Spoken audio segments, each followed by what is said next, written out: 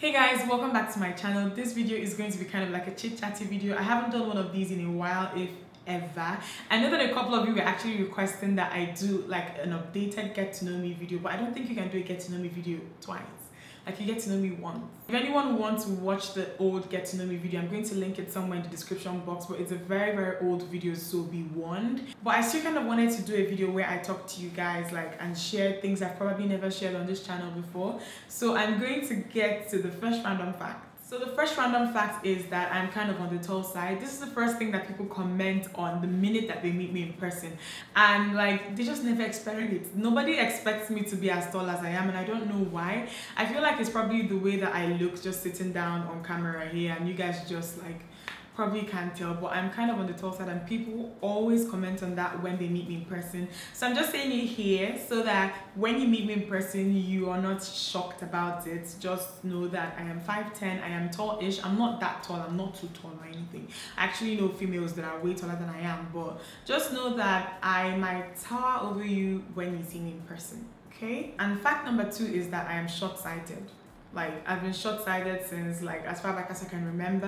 I actually started wearing glasses when I was 13, but I am short-sighted and I cannot see anything without glasses or contacts. So you guys have never seen me wearing my glasses on this channel. Some of you who follow me on Snapchat have probably seen me wearing glasses and those glasses are actually for like sight they're for vision they're not fancy if i'm not wearing it i can't see anything so i'm short-sighted and i'm wearing a pair of contacts now so you might run into me wearing glasses in this Lagos. So know that the glasses are not fancy. I'm actually short-sighted and I've been wearing glasses for a very, very long time since I was 13. Okay, fact number three is that I like it when things are really, really organized. I cannot stand it when an environment is messy. When things are like all over the place or strewn around, like I don't like it.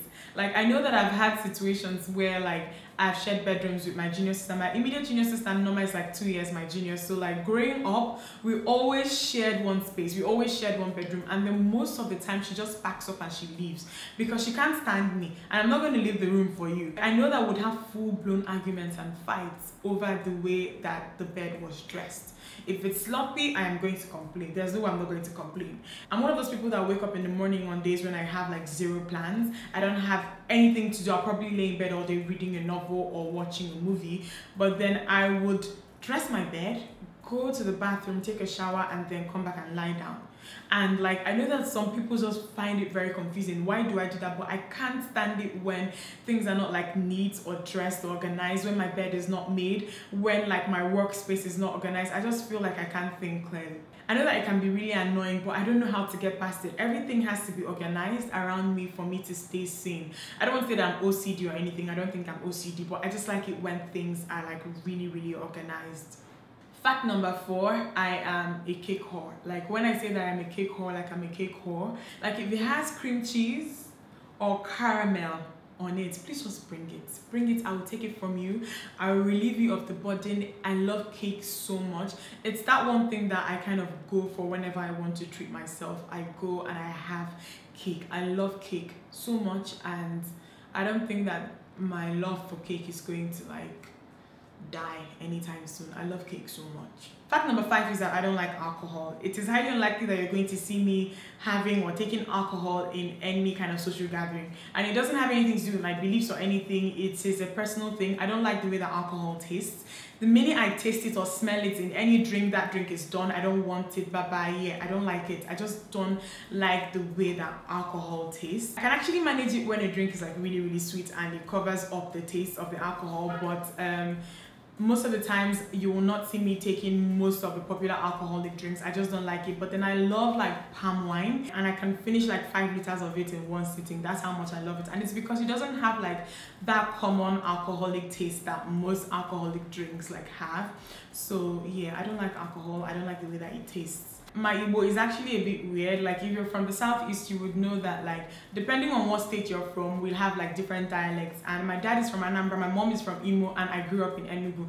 And these are like three different states that talk in three different ways. Most of the times, like we females, we end up talking the way that our moms do.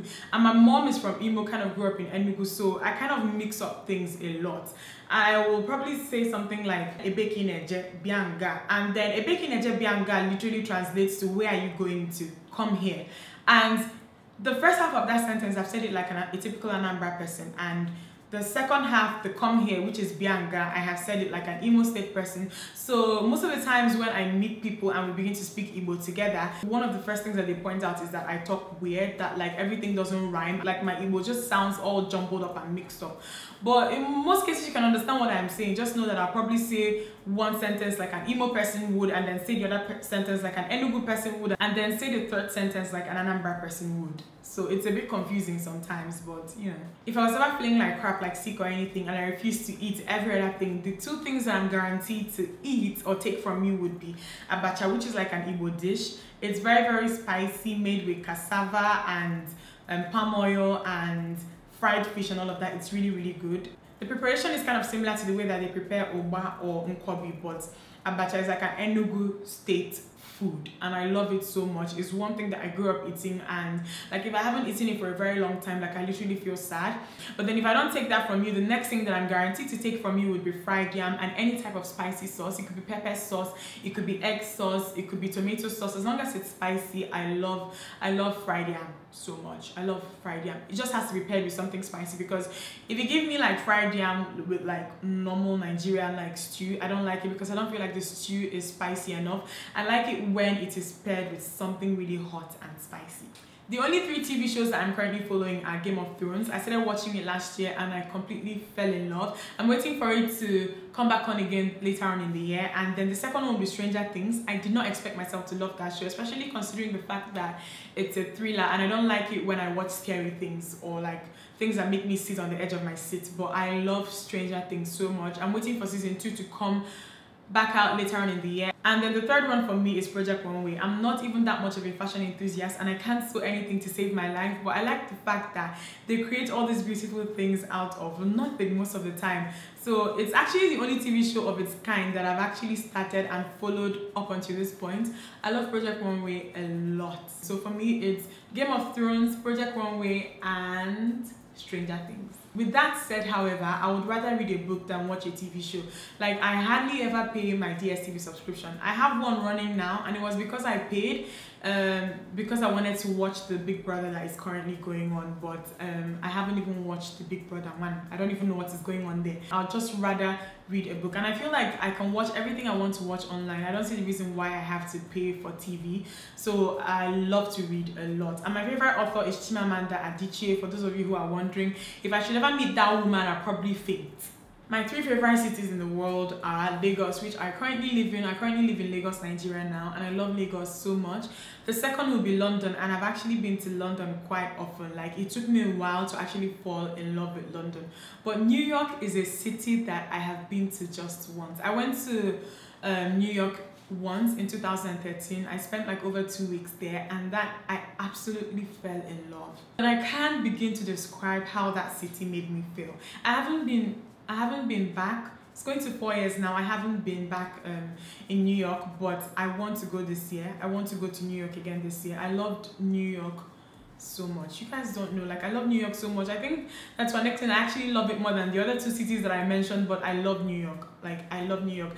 I don't see myself ever in this life living anywhere outside of Nigeria, but if I were ever like tempted to live anywhere else, it would definitely be New York. I loved New York so much and I can't wait to go back again. I just hope that I'm able to, especially with the way the economy is right now. I hate anything strawberry flavored. Like you would not get me to touch strawberry ice cream, any strawberry drink, any strawberry flavored um, candy. I just don't like it when anything is strawberry flavored. And it actually started when I was a child. I remember that I had the strawberry drink. I had never seen that drink before. We would normally have the chocolate version of the drink and my parents would buy it. I think I was around four three, four, between four and five at the time. But whatever it is that I had after that, it was so bad that I remember it clearly up until now. So I remember that they brought um, some drinks. Like, so there was this chocolate version that my parents would always buy and would drink. So one day my dad came back with the strawberry um, flavored um, version of that drink. And because it was new, there was just one strawberry and then there was one chocolate but because like I was older than my sister I kind of bullied her out of the strawberry one and I took it and I gave her the chocolate one and then I had the strawberry drink all to myself and then I took it to school and then I remember drinking it and then I felt so sick I felt so sick that I had to be rushed back from school and my mom had to take me to the hospital and then I know that I, I can't remember what I had. It was probably malaria or something. But I know that it had nothing to do with the drink. But then I just stopped taking anything strawberry flavored after that it just made me like have a very very strong aversion to anything strawberry flavored. And i'm sure that like i said my sickness had nothing to do with strawberry. And i kind of get like that most of the time especially when i have just eaten something before i fall sick. Most of the times i end up hating whatever it is. It's the same thing with me and cornflakes as well. I remember that i used to love cornflakes so much. I'd rather have cornflakes than any type of cereal. But then one time when i was in ss2 i fell sick and I had this like food poisoning situation going on after I had just had cornflakes and I ended up throwing up and throwing up and throwing up and then I fell sick and after that cornflakes just never looked the same to me again. I'm sure that cornflakes wasn't the problem but I just can't I just can't go back to something after I had fallen sick shortly after taking it. I don't know why. So yeah. My favorite fruit is mango and since it's mango season I had to throw this in here. I literally live for the time of the year when mangoes are in season and when it's not in season I just keep waiting patiently for it to come back again in season. I don't know why we can't get mangoes all year round. Why? Why can't we get mangoes all year round? I love mangoes so much. I don't like turkey. It's like my worst meat ever like you'd never catch me dead eating turkey like they disgust me so much like when i was in hrc when i was in when i was in secondary school i remember that we had like some of them like roaming around the school premises. I don't know who they belong to, but someone was obviously raising turkeys in school. And like they are very dirty birds. Like you'd always find them in the dirtiest environment. And as a result, I just don't want to like think of myself eating any of them. Like they are very, very dirty. Like they kind of remind me of pigs sometimes. They're very, very dirty and they also don't taste good. Like they taste bland in my opinion. They don't taste as good as chicken does. So I don't like turkey and you would never, mm -mm, you would never catch me eating turkey. Mm, no. My favorite flower is a flower called Queen of the Night. When I was in SS1 back in HRC, I know that we had some Queen of the Night plants um, near the SS1 block at the time and I had a window seat. So the flowers were just right by my window and they would bloom at night and then they would smell so good. Like I didn't like going for night preps but um, this flower made me look forward to going like for night preps. They smelled so good. And i haven't seen one in years but like if i see one i'm just going to go there and smell it till my heart is full. I love that flower so much. I love afrobeats. I feel like every nigerian loves afrobeats but i love afrobeats like and i feel like i love it so much so that i don't even know what is going on like in the music world most of the times if it's not like nigerian music or afrobeats i don't really i don't really know anything these days. But i love afrobeats and yeah my current favorite song at the moment is mad over you by runtown. I feel like everybody loves mad over you I don't like dogs. They make me really nervous and like agitated and then they can tell most of the time because they just keep coming for me when I'm running backwards. I just hate dogs. And it's actually funny because I actually grew up around a lot of dogs. My grandparents had dogs. We had dogs growing up, but I just don't like dogs. Like they really, really just like, I find them like really like annoying and they just make me really nervous. So I don't like dogs and you I don't think I would ever own a dog. Mm -mm. I don't think so. No. I don't like fried plantain, and I feel like this is an offense that is punishable by death in this country. But I don't like I don't like fried plantain. I don't like it when anything is fried and it is sweet instead of like being spicy. I love it when any fried thing is either bland. I'd rather you be bland or spicy. I just don't want you sweet. And this is also the reason why I don't like sweet potato fries or chicken that has been like spiced with a very very sweet sauce. I don't I don't so I like it when my food is kind of warm and spicy and then cool and sweet if that makes any sense. I don't like it when my food is warm and sweet. Does that even make sense? And that's what you get with fried plantain and sweet potatoes and all of that. I'd rather you be bland or spicy, just don't be sweet if you're going to be warm. I don't like coffee. It makes me feel very irritated and restless and jumpy. So the only reason you'd ever catch me in a Cafe Neo or a Starbucks or a Costa is because I'm going there to get some work done. But aside from that, I don't I just don't like coffee. No. Fact number 19 is I'm actually kind of shy. Like those of you who have been watching me for a long time, you know that at the beginning, especially of my YouTube, that like you could tell that I was shy. But then like if you should also meet me in a social gathering or anything, I'm actually, especially in, a in a place or in an environment where I don't know a lot of people, I'm going to be very, very reserved and just not say anything. But the thing is that if you actually see me in an environment where like I'm really comfortable with the people that I'm with, then I'm actually very, very outspoken like I would say my mind. But then in a very, very new environment and when I don't know you and when I don't know a lot of people, oh, I'd hardly ever do or say anything, trust me. And the last random fact is that I don't know how to ride a bicycle. Like I never even attempted it while I was growing up. My sister actually knows how to, but I feel like maybe I was too scared and every time they put me on one, I just probably scream. Everyone's heads off and then they'll bring me down. And right now I just wish that I had learned because I have to do a lot of cycling right now and all I use, like I only use stationary bikes and sometimes I wish I could just like ride off into the sunset on a normal bike but I feel like maybe I'll probably still find a way to learn. You know, there's always, you know, I think I can. I can talk myself into like, if I can learn how to drive, it's not bicycle. I'll learn how to drive a bicycle. So that's it for this video. I hope that you guys enjoyed it. You guys should let me know if you would like to see like a Snapchat Q&A so that I can maybe answer like some questions that you guys have in detail. Let me know in the comment section below. I'll see you guys in my next video. Bye guys.